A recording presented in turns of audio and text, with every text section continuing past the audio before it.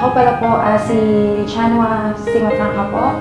Property consultant po ako ah, sa PhilInvest. Then 9 years na po ako sa, as an OFW po dito sa UAE. 19 years old ah, pa po ako pumunta sa, sa abroad. Kaya po, alam naman po natin, kaya po tayo pumunta sa abroad kasi gusto po natin ma-change po yung life natin. Ako po kasi ah, breadwinner po talaga ako sa family namin. Ako yung inaasahan sa lahat. Medyo mahirap talaga yung buhay. Minsan, um, kahit nagkakasakit ka, syempre 19 years old pa ako, masyado pa akong ah, bata noon. Lahat gagawin mo kahit kahit ah, minsan miss na miss mo na yung family mo, syempre ako lang mag-isa dito sa, sa UAE, so talagang mahirap talaga yung buhay. Lahat ng mga OFW, kailangan po natin mabago po yung ah, buhay natin. Ako nga po ah, gusto ko rin po mabago yung buhay ko. Which is nakikita ko po kasi sa PhilInvest na dito talaga mababago yung buhay ko. Kaya talaga, nung since nag-start po talaga ako sa PhilInvest, wala po talaga siyang time na na anong tawag dito na nag-stop ako. Talagang tuloy-tuloy siya.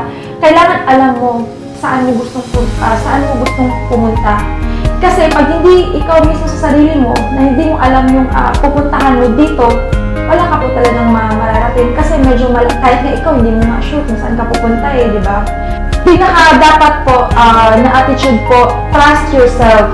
Kailangan nyo pong isipin na kaya mo, kailangan may trust ka sa sarili mo before ka magkaroon ng trust sa iba. Kailangan first, have faith kay God, positive ka dapat lagi sa buhay, kahit anong pang mangyari. Tapos, ah, determination, for sure, magiging successful ka yan. I-open yung mind nyo, ah, try nyo po maging business-minded, in the sense na wala ka naman pong ah, ilalabas, try po, wala naman pong uh, mawawala. Kasi yung opportunity once na po siya mag-knock, eh, grab na po. Advice ko po sa inyo, uh, wag po maging tamad.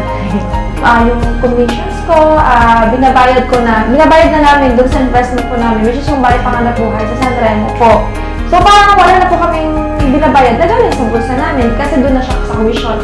Tapos lahat po yung mga gastusin, lahat na sustain namin dahil po sa commissions na na-receive namin, nakakapagpadala kami ng ah, ng mas more pa sa padala namin dati. Tapos na-enjoy namin po, napapamper po namin sa'yo namin. Kasi syempre, sa commission parang pag ma-receive mo yung mga pinaghirapan mo, syempre, kailangan mo din i-reward po yung sarili mo. Nabibili po namin yung mga bagay na gusto po namin uh, bilhin.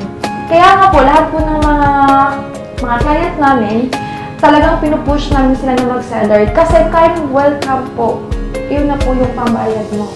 Magugulat ka na lang one day dahil sa hindi ka po nag-stop, wala ka na pong nilalabas sa bulsa mo. Ma-recommend ko po talaga siya sa lahat po ng OFW kasi ito lang po yung business na wala ka pong ilalabas.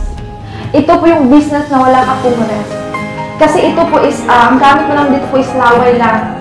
Laking pasalamat ako talaga sa PhilInvest International kasi dahil po sa inyo, ah, nabago po yung buhay ko, nabago, nabago po ako bilang, bilang ako, natuto po ako maging ah, lahat po ng aspect ng ah, life.